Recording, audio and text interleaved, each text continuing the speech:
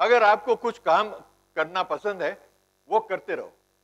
Keep conducting experiments and keep failing because your success lies in that it is not कि आपने ये किया अच्छा हो गया अच्छा हो गया अच्छा हो गया, वो खाक अच्छा हुआ, उसने सीखे क्या? आपको तो पहले ही मालूम था, इसके लिए सब अच्छा अच्छा हो गया।